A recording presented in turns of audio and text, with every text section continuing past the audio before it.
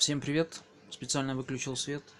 В комментариях просили снять а, небольшой обзор смартфона Leagu Elite 1 в чехле, в фирменном чехле, оригинал кейс называется, и сравнить а, с HTC Dot View чехлом. Свет выключил для того, чтобы продемонстрировать, как чехлы работают при входящем вызове. Сначала осуществим вызов на Dot View. Чтобы лучше было видно анимацию. Так, смартфон моего сына. То есть свайпом вверх отвечаешь на вызов, свайпом вниз отклоняешь вызов. Теперь звонок на Лиагу. Анимация здесь очень простая. А, вот как все это выглядит вот, чтобы лучше было видно. То же самое. Свайпом вниз отклоняешь, свайпом вверх принимаешь вызов. Удивительно, но почему-то он только дает отклонить. Почему это происходит? Сейчас рас...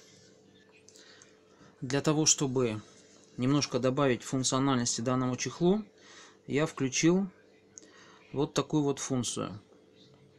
Она называется умные, умные жесты, умное движение, ну, Smart Motion. А, телефон. Ответ на звонок потри... ну, свинг, да, потрясти телефон для того, чтобы ответить на звонок. То есть при входящем вызове достаточно, вот видите, я просто поднял смартфон, и он уже а, ответил на звонок. То есть когда показывала свайп вниз сделать, чтобы отклонить, это уже было не отклонить, а положить трубку. Вот, вот такая вот вещь. Вот сейчас вот попробую отключить ее. Вот я отключаю. И осуществлю звонок снова. Так, идет звонок. Вот. Вот я поднимаю, двигаю, переворачиваю телефон. И все равно он предлагает либо свайпом вниз отклонить звонок, либо свайпом вверх принять вызов. С чувствительностью, кстати, здесь проблемы. Вот сейчас, видите, я принял вызов, и теперь для того, чтобы а, сбросить вызов, мне нужно свайп вниз сделать. Вот так вот смарт-чехлы работают в режиме ответа на входящие вызовы. Человек написавший мне в комментариях о, с просьбой о, о, о проведении сравнения между вот данными а, чехлами. А, он говорил о том, что сомневается, стоит ли заказывать чехол от Лигу. А, ну, решайте сами. Вот внешний вид данного чехла. Я его показывал, в принципе, когда делал распаковку. Чем он отличается от чехла DotView, который, в общем-то, задал моду да, на, на такого рода чехлы. Здесь резина, здесь, здесь непонятно что. Здесь как будто есть основа, но она обклеена какой-то вот блестящей штукой. То есть трех цветов, золотистый, серебристый и черный.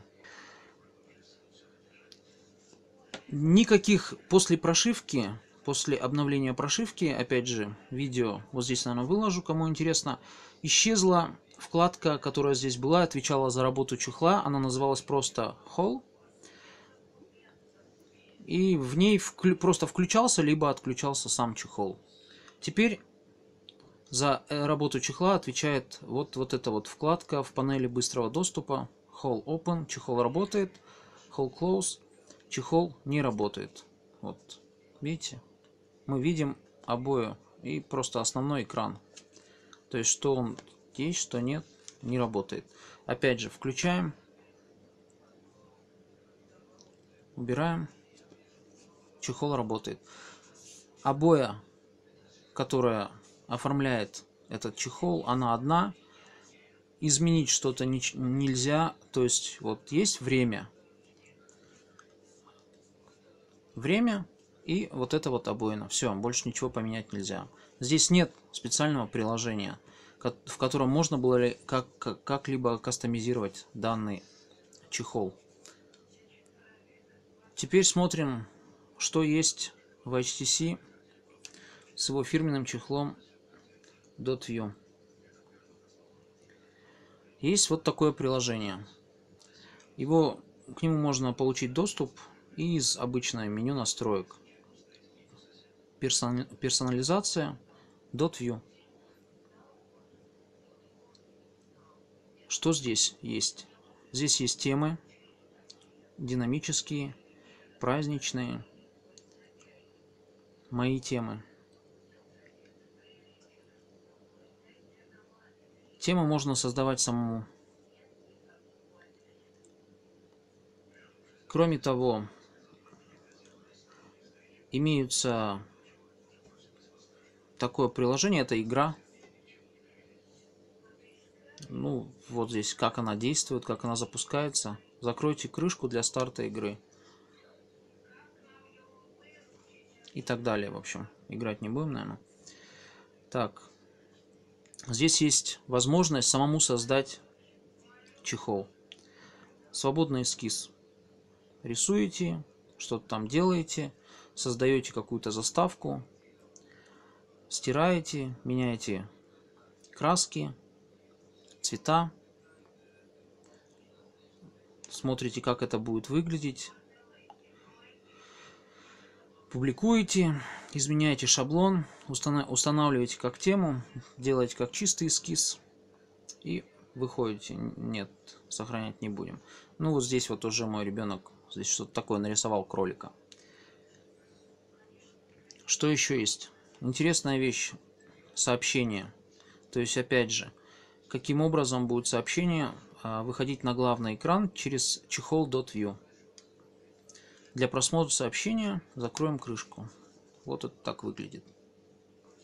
То есть там добавляете какое, какое-либо сообщение, и оно в режиме ожидания будет высвечиваться.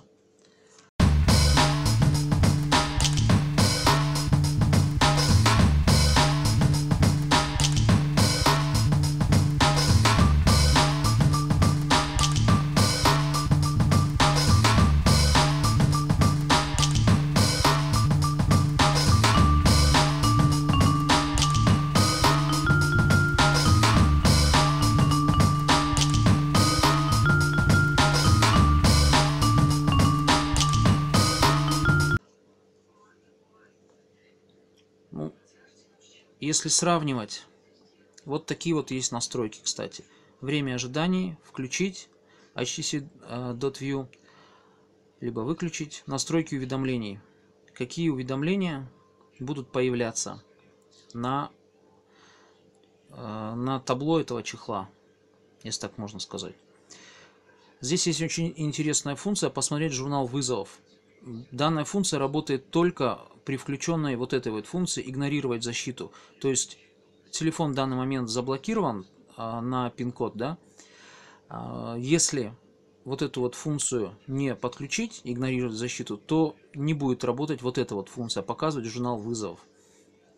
Как это осуществляется? Пускаете двойным тапом, запускаете чехол, вот здесь работает а, праздничная эта тема, и после нее свайпом три последних вызова. Выбираете и осуществляете вызов одному из абонентов, который у вас в списке трех. Ну вот я себе осуществил вызов. Вот так вот все это выглядит. Какой из них лучше, приблизился ли данный чехол от Лиагу к, э, к своему, так сказать, э, оригиналу, на который, как бы, наверное, ориентировались, когда этот чехол придумывали, запускали в производство, я не знаю, но э, смотрите сами. То есть, как здесь выглядит крышка и как здесь. Здесь она плотная, монолитная, вот здесь магнит. Удобно складывать, держать в руках, складывать в карман. Вот здесь вот, из-за того, что крышка вот так вот не плотно подогнана, это делать неудобно. То есть она постоянно болтается, видите, Вот так вот. Ходит. И никакой возможности, по крайней мере сейчас, кастомизации нету. Вот такие дела.